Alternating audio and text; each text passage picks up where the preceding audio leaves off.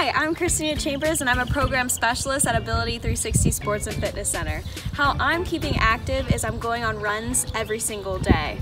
I'm going to show you some of my adapted workouts as well. And now we're in my kitchen where I found this bag of sugar. It's a four pound bag of sugar and we're gonna do seated Russian twists with it. All right.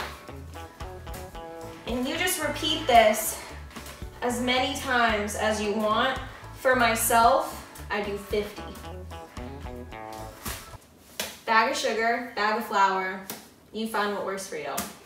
All right, now you can use any chair you have in your house. I'm using my own chair.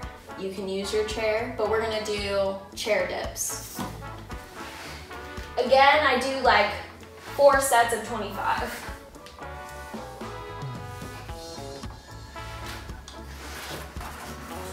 And that's how I've been keeping busy during self-isolation.